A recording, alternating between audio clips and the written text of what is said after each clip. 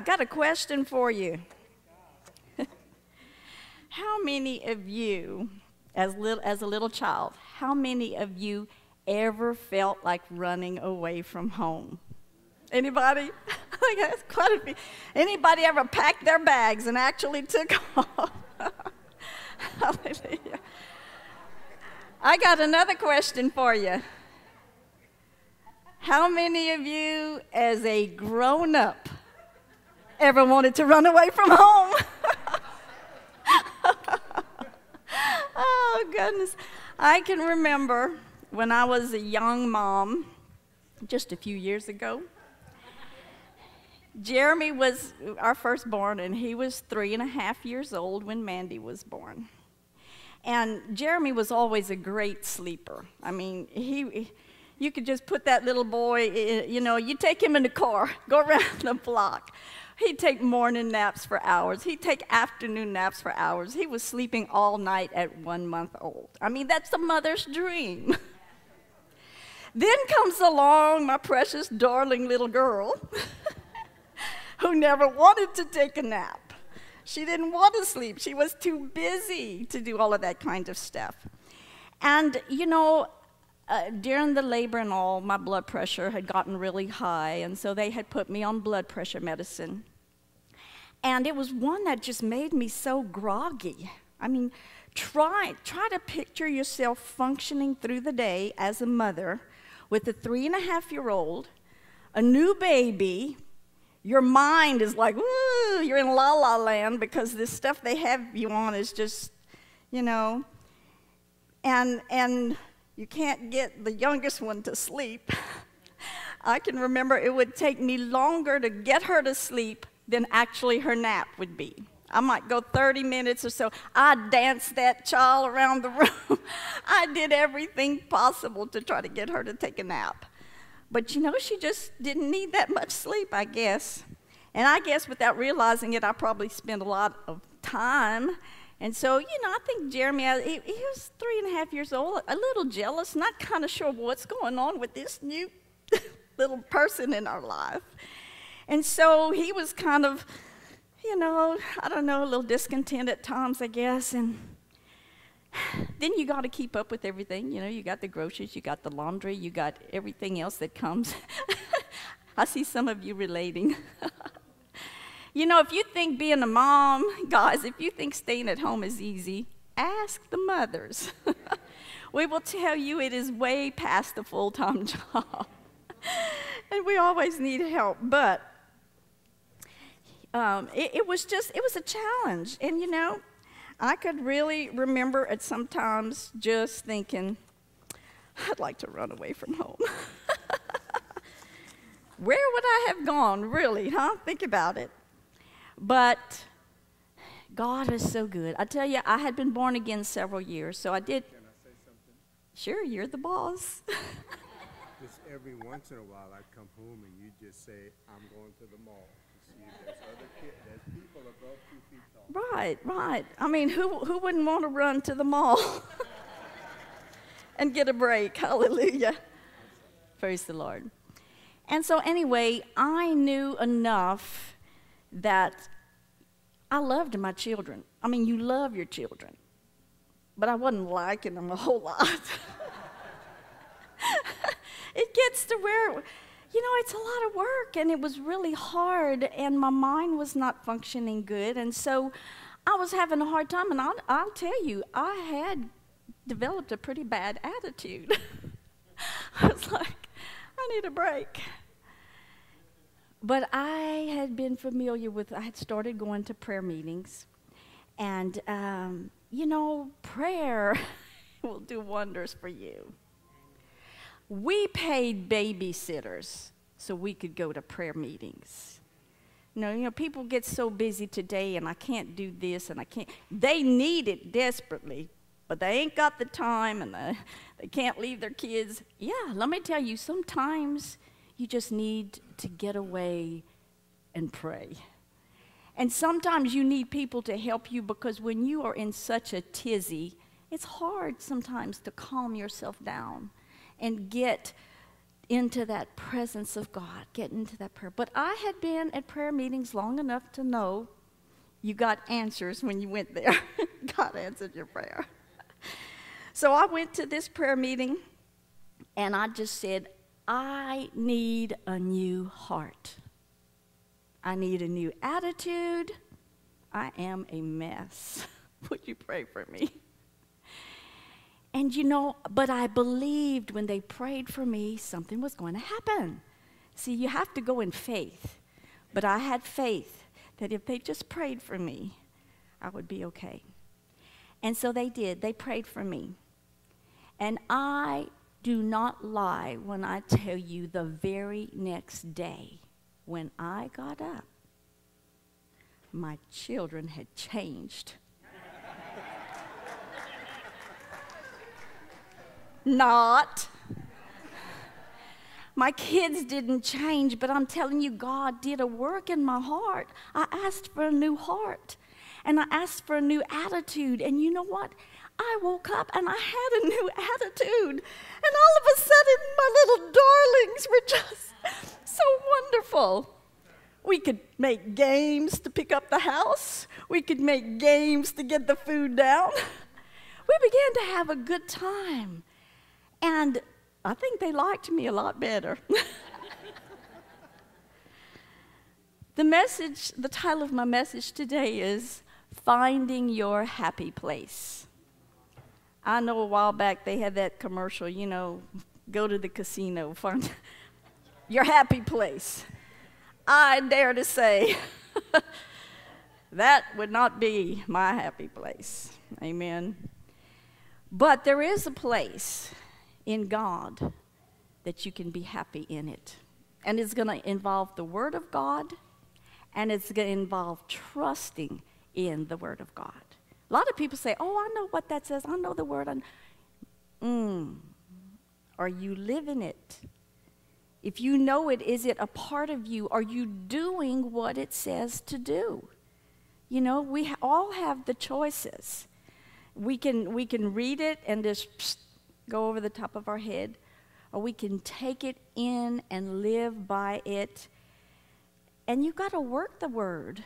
You know, you've got to build some faith muscles. You have to let God work in you.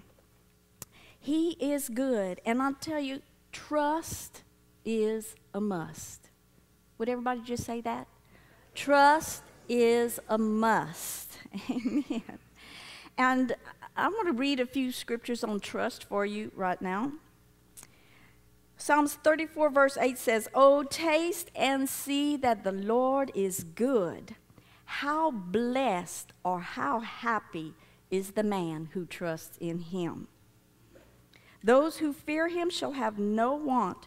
Those that seek the Lord shall not be in want of any good thing. Hallelujah. Psalms 37, verse 3 says, Trust in the Lord and do good. Delight in him, and he will give you the desires of your heart. Commit your ways to the Lord. Give it to the Lord. Give it to the Lord. Amen. Give it to the Lord. What happens so many times is we give it to the Lord and we take it back. We give it to the Lord and we take it back. But you know, when we can give it to Him, put it in His hands, trust that He is going to work out in your situation. Hallelujah. Psalms 28, verse 7 says, The Lord is my strength and my shield. If you are feeling tired and weary and unguarded, go to the Lord. He will strengthen you, He will be your shield. He says, My heart trusts in him, and I am helped. Hallelujah. Hallelujah. My heart trusts in him. Sometimes you just have to you have to locate your heart. Amen. Sometimes we, we mix up our heart with our head, what's coming out of our head, our thoughts, our wills, our emotions. But then there's your heart. And in your heart is where you hide away the Word of God. And if you go to that Word, He's going to strengthen you. He, strengthen you. He's going to help you. Um, Psalms 118, verses 6 through 9. The Lord is for me. I will not fear. What can man do to me? The Lord is for me among those who help me. Therefore, I shall look with satisfaction on those who hate me. It is better to take refuge or trust in the Lord than to trust in princes. Amen. Psalms 85 11 For the Lord God is a sun and shield, he gives grace and glory. No good thing will he withhold from them that walk uprightly. O Lord of hosts, how blessed or happy is the man who trusts in the Lord. And one more Psalms 91 1. He who dwells in the shadow of the Most High will abide in the shadow of the Almighty. And I will say to the Lord, my refuge and my fortress, my God in whom I trust. You know, God can be trusted. And yet, so many times we find ourselves in the middle of situations and you really want to panic because it's not looking so good. And yet we have to remember that we have to put our trust in God. We have to be willing to hear the word. You've got to be where the word is being spoken. Amen. First of all, you have to have your own prayer time where you speak the word. The Bible says meditate day and night. That means speak it out, mutter it, talk about it. Why? Faith comes by hearing, and hearing by the word. Well, that's why it's good to speak. You want God says to meditate. Take the word. Don't just read it. More than just your eyes seeing it, speak it out of your mouth. Speak it because then you'll hear it. And speak it and, and take it in and read. Study. How many of you have a study time in the Word? Study and meditate on that word. Get it on the inside of you, and then believe that God is good and that His word is good. Everything He says is for our good. God is not looking at a way to trip us up. the devil is. But God, God is looking to for our good. And so we have to believe and trust in his word. You know when you don't trust somebody are you going to take them at their word? If you, if you don't have trust in a person and they come and tell you something, it might be something you really need to hear or do, but if you don't trust them, you won't have faith to follow that person. But you know, God's word is it's true. It can be trusted. Without faith, can't please God. God's looking for people who trust His word, take Him at His word. Paul said in Acts chapter 26, verse 2, he said, I think myself happy. I love that scripture. And you're going to have to think yourself happy too. Amen. How many of you ever have that, what they call that stinking thinking going on through your head? I'm just going to ask that again. And I want you all to be honest. How many of you ever have stinking thinking? Come on, help me here. I know I'm not the only one. Praise God. Because there's a real devil. And he goes around setting people up to get upset. Because if you get upset, then you're not happy. You're not happy when you're upset. It's hard to be upset and be happy. Let me put it that way. And so he's always coming around with different situations in our life to get us upset. He just wants to press your button. And over the years, he knows exactly where your buttons are. Amen. Hallelujah. And he comes to steal, to kill, destroy. Now, I'm not going to say anything new today. Amen. But I'm going to say things we all need to hear again and again and again. And so he comes to steal that word because if he can steal that word, He'll steal your joy. If he steals your joy, he steals your strength. Once you have no strength, let me tell you, you are dinner for him. You will be his dinner, his lunch, his everything. And so the Bible tells us in 1 Peter chapter 7. 1 Peter 5, excuse me, uh, verse 7. Casting, casting. It didn't say half cast, this is casting. You notice that word? It's a, it's a now word. it's a today, tomorrow, next day. It says, casting all your cares upon him, for he cares for you. He cares. God cares for us. Amen. Hallelujah. But then we have a, do have a part here. It says, be sober and be vigilant because your adversary, the devil, walks around like a roaring lion, seeking whom he may devour. So the second part you have is resist him steadfast in the faith. So that's why you've got to keep the word. You have to keep the word of God in your mouth. Hallelujah. Thank you, Lord. It's so important that we keep that word in our mouth. It says, humble yourself under the mighty hand of God. In other words, just admit to yourself you need God. And stop trying to fix it yourself. Myself. Ever try to fix it yourself? Yeah. But a humble person, a humble person will just say, God, this is too big for me. I really, really need you in this situation. So I come to you and lead me to the words, Father, and, and you just go in that Bible and, and you get the words and you, you resist the devil steadfast in the faith. You cannot resist the devil unless you're in faith. It's just plain and simple because if you're not in faith, you're not trusting God. And it takes all of that to resist the devil and to be in faith. And so we have to cast our cares upon Him daily. Daily. I said, Well, I did. I, I, I gave it to Him yesterday. Well, you took it back, and you need to give it to Him today. Amen. And so it's important that you do that. And of course, we we know that in the book of Joshua, he says, God tells him, only be strong and very courageous. And the way he's to be strong and to be courageous is to take hold of that word and meditate day and night, and night and day, and day and night, and night and day. that sounds like every day, doesn't it? Meditating on that word, speaking the word. Hallelujah. And so, to get rid of that stinking thinking, there's something else we have to, we want to.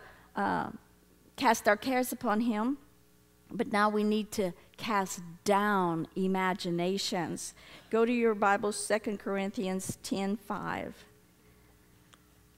Hallelujah. I'm going to start in verse 3 actually. For though we walk in the flesh, we do not war according to the flesh. How many people in here have flesh? How many of you try to war within the flesh sometimes? For the weapons of our warfare are not carnal, but they are mighty in God for pulling down strongholds, casting down arguments. How many of you have arguments going on in your head sometimes? Woo, come on now. I tell you, like, I've been dealing with some of that just lately. And I said, God, you're so good. I needed this more than anybody else today, so y'all just relax. yeah, you know, you, you always, we always say casting down imaginations and every high thing that it exalts itself above the knowledge of God. But this says casting down arguments, and I got to thinking, God, that's exactly what's been going on in my head over some situations that we're facing, and it's just like, like this little conversation boop, boop, between that other person. we're arguing right here in my head. I said, Lord, did I need this this morning? and I only found out this morning that I was preaching. So you think you think God has a sense of humor, huh? But I'm so glad, Daddy God, I needed this. Now I can make it through next week. Amen. Hallelujah. The Word of God is so wonderful. So it says, casting down arguments or imaginations, whatever you want to call it, and every high thing that exalts itself against the knowledge of God, and bringing every thought into captivity to the obedience of Christ. You got to go and capture. You got to catch those things. Capture that. But you're not going to capture that with your own thinking. It's going to take words to pull down those imaginations, to stop the arguments. Because when you try to stop arguments in your head with thinking, it goes right back to what it was thinking. so it's going to take words, it's going to take deliberation, it's going to take determination to put the word and get it out of your mouth over those situations. Amen. The word is living, it's powerful, it's going to do what God said it will do. So instead of lifting up and entertaining the thoughts that are in our heads that are not good, and trying to fix it and solve it in here, we need to pick up the word of God, put it in our mouth, and speak it, and then God will solve it. Amen and it'll come out so much better, I promise you. Hallelujah. And so we have to understand that there, there is war that goes on between your ears.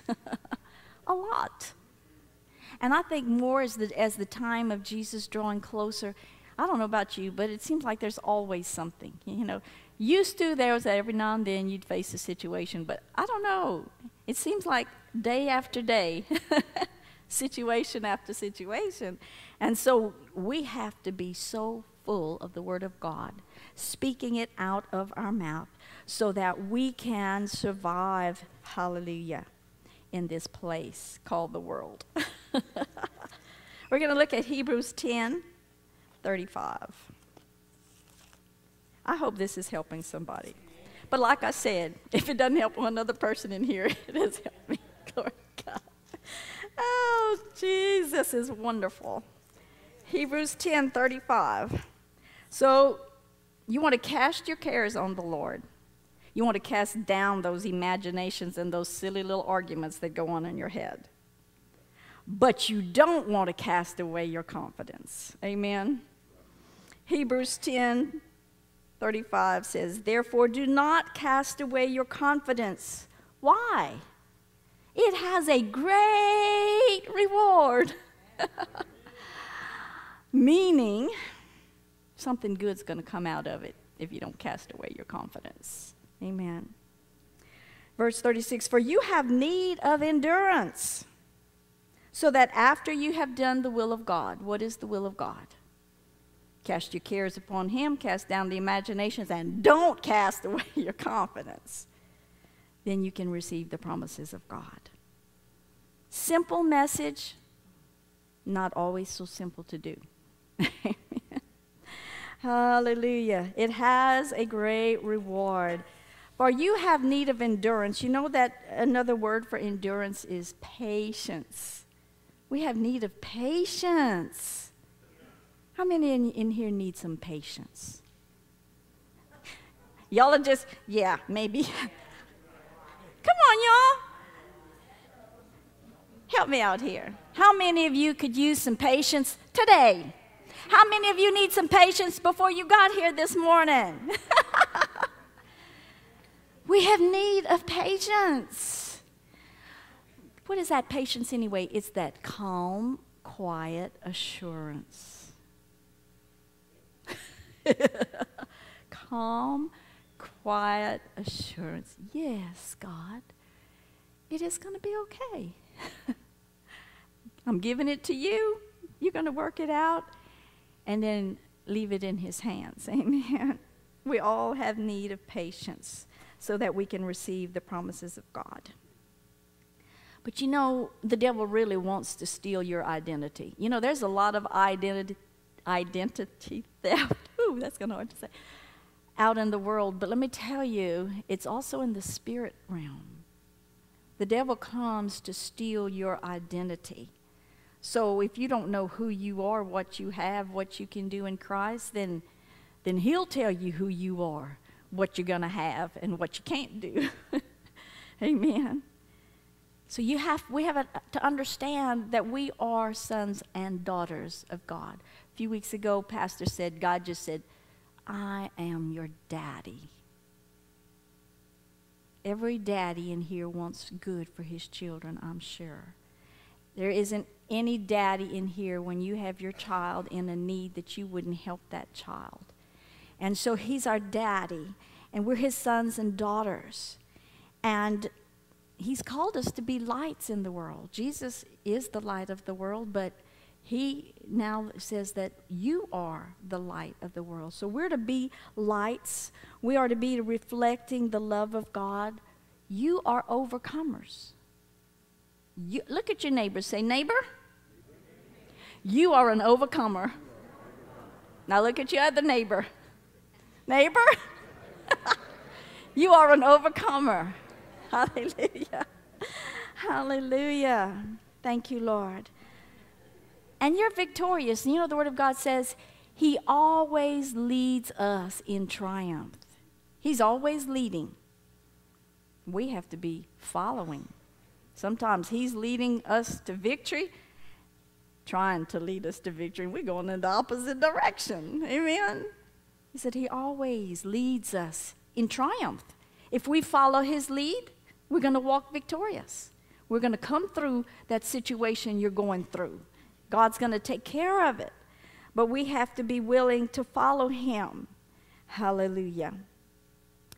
And so we're, so, we're sons and daughters, but we're also co heirs. We have a great inheritance. Amen. He says He's given us every spiritual blessing in heavenly places in Christ Jesus. Every spiritual blessing, everything. He's given us all things that pertain to life and to godliness. And so we can live and we can walk holy as He is holy. A lot of the Christian world is not walking holy as He is holy. They're making all kinds of excuses for why they live the way they live and thinking they can get, get away with it, but the Bible says, Be holy as He is holy.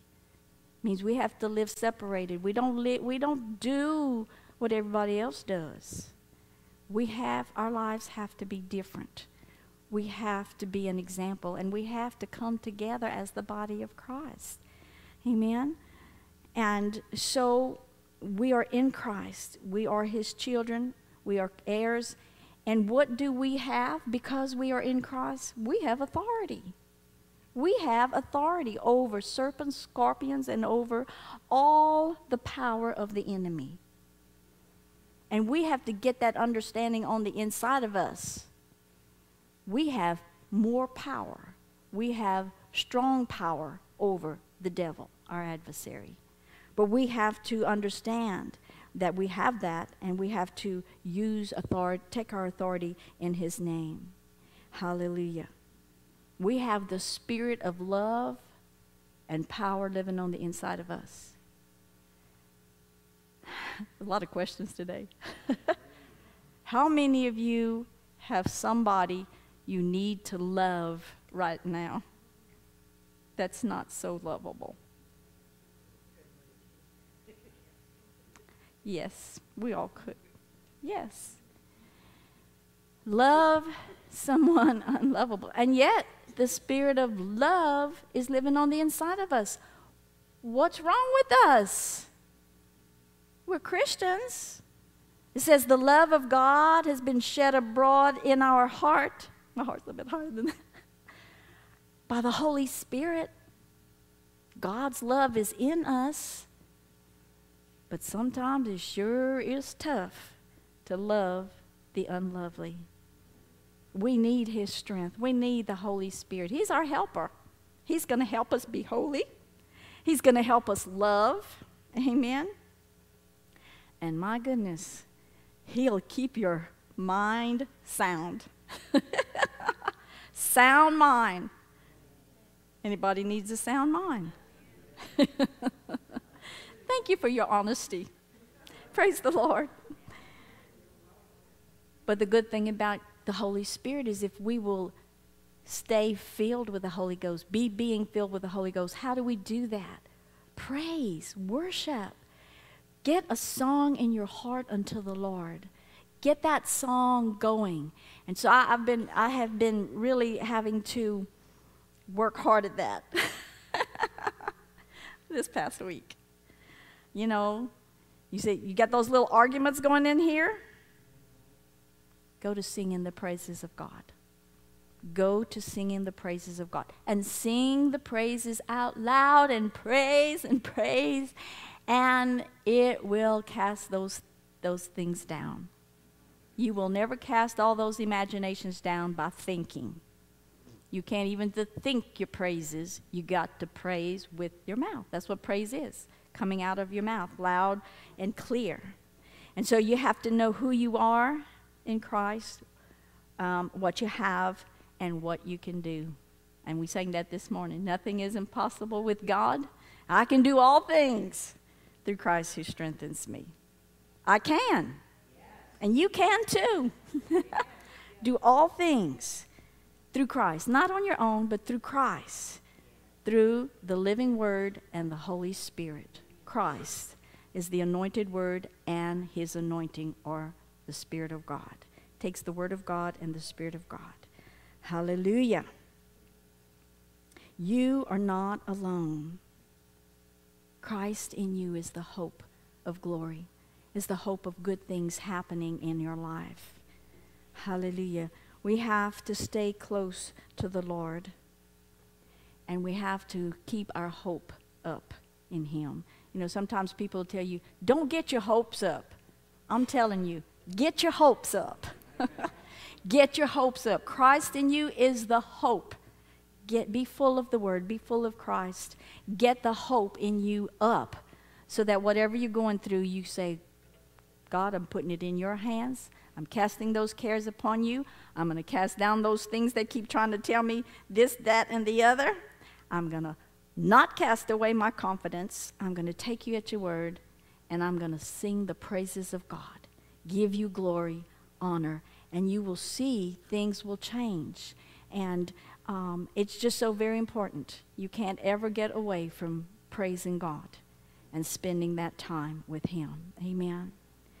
So, simple message, not a long message, but if you will do what has been spoken today, it will take you a long way. Amen. Father, we thank you today. Go ahead and get the singers to come back up to do uh, Amazing Grace. Lord, we thank you today that your word is living, it is powerful, it is our happy place. Hallelujah. If ever you find yourself in an unhappy state, move to the state of the Word of God. Amen. Hallelujah. And so, as they sing this song today, just if, if you've got something going on in your life, which I would venture to say the majority of people do, and you want to just take a step of faith and you just want to come praise him right now and just just declare about his amazing grace, how truly he is good. He has good things for us. He's already paid the price. Amen. And he's already wants you to walk in that victory. It's available to you today. It's a simple simple step of faith to come forward on this piece of carpet right here and praise God and just receive from him today what you need in whatever situations you're going through. Amen.